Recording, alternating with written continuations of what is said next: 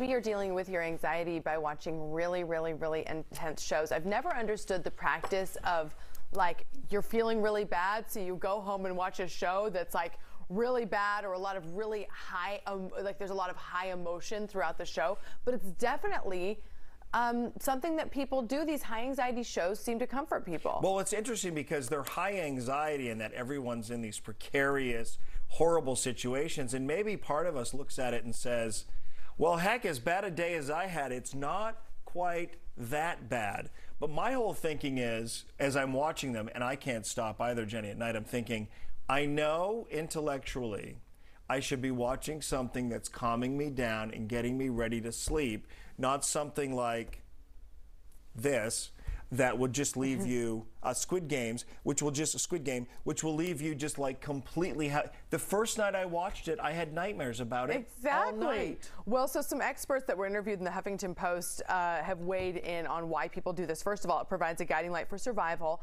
They allow us to f- feel our feelings in kind of a safer way because it's all encapsulated. You're feeling the feelings with the show, and then you know the show's over or something that's happening to somebody else, and then they help us project and shape our emotions. So actually having somebody to relate to and then feel like, okay, that person's feeling this way.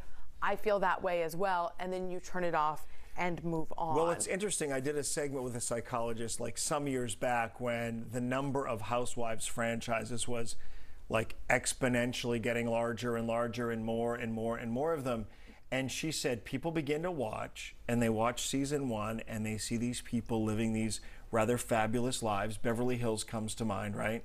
And you think you're a little envious. You're like, boy, wouldn't it be great to live that life? But then as they start to infight with each other, as conflict starts to come up, as problems in marriages start to come to light, you start to think, oh, well, I guess having money isn't everything. I'm happy over here in my little house without my money. So yeah, yeah, for, for sure. So it's this article had um, like these these four different ways to decompress after you watch one of these shows, that, so that you can actually go to sleep. They call it the TIP method, T-I-P-P. Mm-hmm. So first of all, temperature. Splash your face with cold water. Take a cold shower. Grip an ice cube or go on the warm end. And I'm just thinking, if you have to do all these things after watching the show, then why are you like, doing well, it? we shouldn't be watching them, but this is for you because you do this. Then intense exercise, do jumping jacks, run around or lift weights, but don't overdo it. Then paced breathing, breathe in deeply through your nose for four seconds, then exhale for six. And finally, progressive muscle relaxation. Tighten a muscle and then relax. Now so, I got to work that into the bedtime routine. Yes. So you're. Just I mean, wouldn't it just be easier not to just to watch something that's feel good that's and kind why of a comedy? We do say that sometimes. Like, let's just watch something light and funny. Yeah. Even if it's like you know a couple episodes of a Netflix stand-up comic series or something. I mean, that's why I like like Working Moms. It's such a fun series. I've talked about it before on What You're Watching, and it's just like fun and light and you know, you're not having nightmares too. all night. I don't have nightmares, no, because it's like yeah. they're related. They're reflecting my actual life, I guess.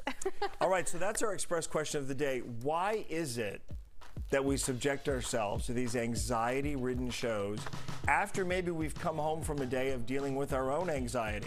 Um, share your feedback with us. It's on social media.